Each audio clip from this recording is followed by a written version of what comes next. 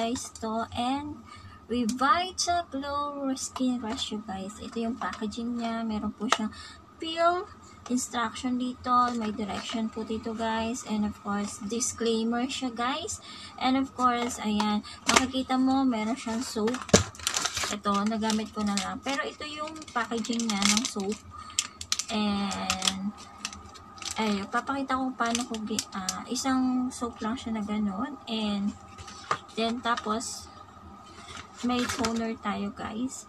Rehabilitation toner. And meron din po tayong sun defense para sa uh, morning or daytime. Tapos meron din po tayo po tayo pang night cream siya guys. Ganito po yung packaging. Ayan. Ito po yung ginagamit ko in 7 days. Ayan, tayo 40 days. Ayan, you know, dapat marami siyang ganito. This is my first time sa her skin. Ito, may soap na tayo, guys. Ito, nakita yung soap. Soap. Ayan. Ginagawa mo! Sa ating five.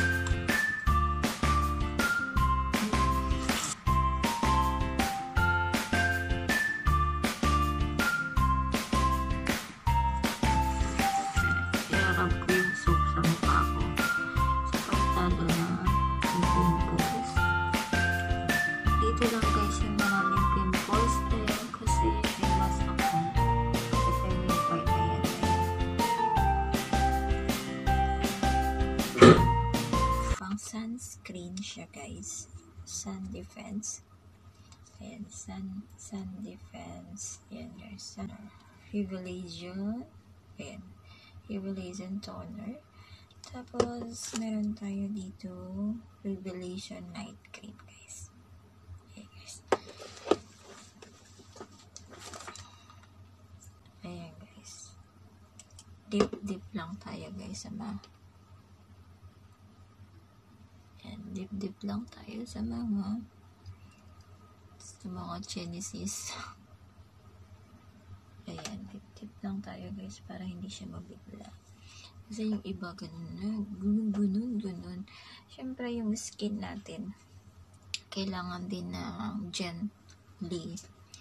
Hindi yung bibigla-biglain mo lang siya. Kasi siyempre, may ta ano din siya, may puso rin siya na kailangan hinay-hinay lang. Ayan. I-dip-dip mo lang sa mga pimples mo. Ayan. Para dark, dark spots dark spots go away. O, diba? Go away ka na dyan. Ito siya, guys. Ah. Sobrang sealed. Ayan. Yan, dapat yung dapat yung mga kamay mo okay siya. Then, i-dip mo lang to. Then, i-dip mo sa mga cheninis mo. Ilagay mo siya sa mga part ng ayan, sa mga part ng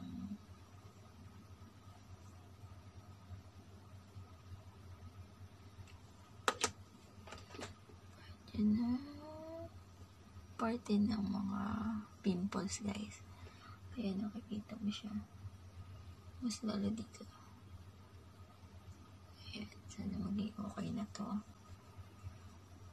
Mo siya ng kaunti. Kaunti lang natin ilagay para hindi siya mabigla. Ito, pang night cream to, guys. Ayan alam ko naman mawawala na yung try lang natin para yan guys. And tomorrow i-apply naman natin yung every morning. I iaano ko yung journey kung may nag improve ba sa aking face every day. And you. Yan drop maybe one or two drop only. Tapos, seven, dapat one-sided lang. Up and down mo lang isa siya. Hindi yung napaka smooth lang, smooth lang siya guys. And then you check it out. smooth. Tapos, hindi mo na siya babalikan kasi napuntahan mo na siya dito. Dito naman sa other side. Tapos, yan. Guys, yung hapding niya, hindi na siya, hindi naman siya masyada ka. Tapos dito. Yung upper here, guys, check nyo po kasi mostly, syempre, baka maano kayo. And then, dito sa taas, dito. Huwag nyo na siya babalikan, guys, sa mga nalagyan nyo na. Ganun lang po pag you can, you, Ganun na lang po ang paglalagay ng ating toner. Kasi minsan matapang siya guys. And guys, for this morning guys, kasi morning natin lalagay, lalagay tayo ng suns, sunscreen S, SPF 30 guys. Ayan. Ayan, di pa siya bukas kasi last night ginamit ko siya ng gabi. And today is my second day for using this one. Siguro naman magiging effective siya, guys. Medyo parang kakaunti. Pero mas marami yata. Guys, sunscreen to if lalabas kayo and mag-protect yung skin natin. Kailangan talaga ng ating body ang sunscreen. Ayan, guys. Lagay mo lang sa buong sa buong face mo. Sunscreen din to, guys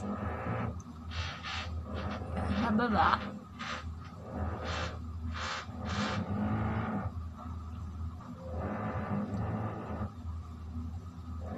Parang ang dami kong nalagay. Ayan guys. Kita nyo guys.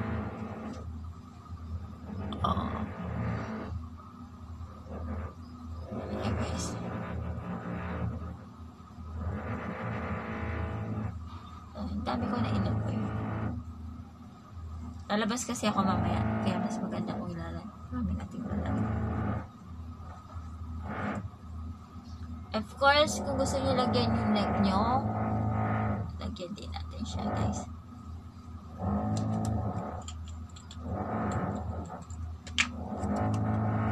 Ayan guys, and update ko na lang po kayo that every day, this is my second day. Medyo mahati siya kasi nilagyan ko siya na Yeah. It's uh, my third day using the hair skin guys. You look, uh, medyo nag, ano na siya, uh, nagpapabalit exfoliate na siya guys.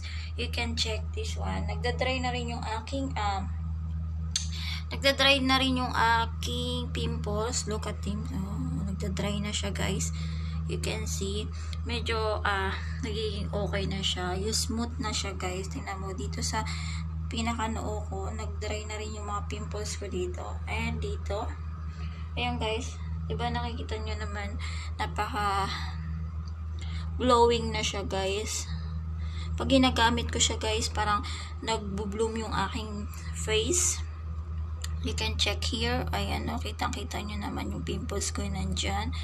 Ayan, dark fast. Na, tinan mo to. Dati parang ano, ang ang hinog-hinog pa yung aking pimples. Pero ngayon to guys, oo, nag-ano na siya, nagda-dry na siya guys. Parang nag-exfoliate na. Yan yung third third day ko guys. And update ko pa kayo for tomorrow and my fourth day. Bye.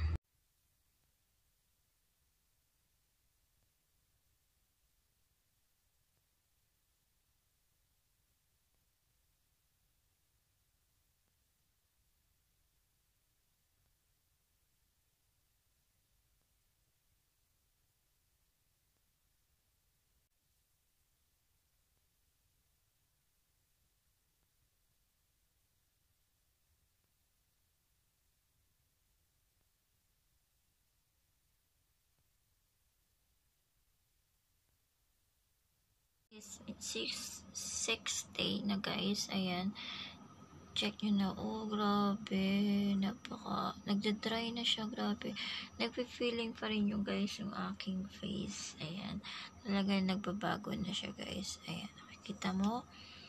Ayan guys, nakikita mo, dry na dry na guys. So, grabe. Tapos nagpe-feeling na siya guys. Ayan, papalitan na yan guys. It's seventh day of our using the hair skin. Look, ah, nag-dry na lahat yung aking, ano, malapit na siyang mag-skinny. Test, natubuan pa ako ng pimples dito. Siguro parang may kumagat. And, ayan, nakikita nyo, nag-dry na siya. Guys, ito nag-dry kasi, ewan ko, guys. Dry siya. Kasi ba nagre-reddish yun siya dati. And nakikita mo, oh, di ba? Nag try na siya guys. Look at this one. Mag-iis glass skin na tayo guys. And ito lang po yung gusto ko matanggal yung pimples ko. And next pa natin ay naman 14 days po yung journey ko sa 7 days na paggamit ko ng hair skin.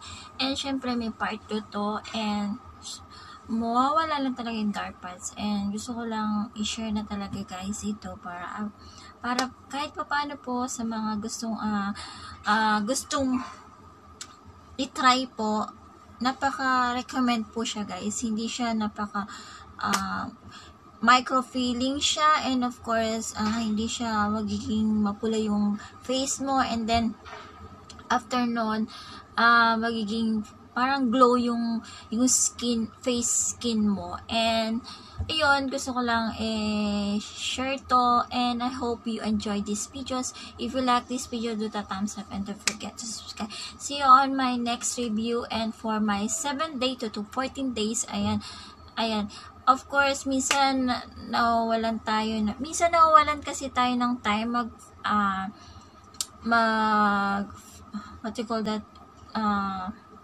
actually, tamad na tamad po ako mag skincare kasi minsan pagod ka na sa trabaho, everyday uh, busy yung trabaho mo, ah, household workers ka dito sa Hong Kong, and ayun lang guys. CEO Kat Milandes naman, alam nyo naman, lahat ng mga nire-review niyang mga skin product ay napaka-effective sa kanyang skin. Of course, sa lalong-lalo na, syempre, gumawa sila ng mga ah, makakatulong sa ating mga skin problem. Of course, lalo na sa akin at nakatulong ito. Sobra, sobra, sobra kasi ah, ang dami ng sinubukan ko pero mild soap or anything anything eh pero ano naman yung magiging maayos sa yung ah, face or magiging ah, puti na rin yung skin ko kahit winter na ngayon guys. And napaka hangang-hanga ako kay Kat Melendez kasi ang journey niya tala alam niyo naman sa YouTube YouTuber vlogger siya ah, lahat ng mga products na ginagamit niya ay ah, nagiging okay siya. Then and see you